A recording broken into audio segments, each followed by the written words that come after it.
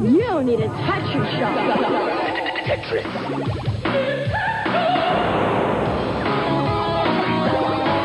Have you been Tetrisized? Square, rectangle, trapezoid, tetrazoid.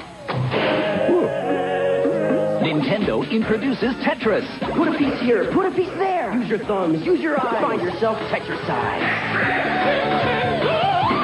Now you're playing with power.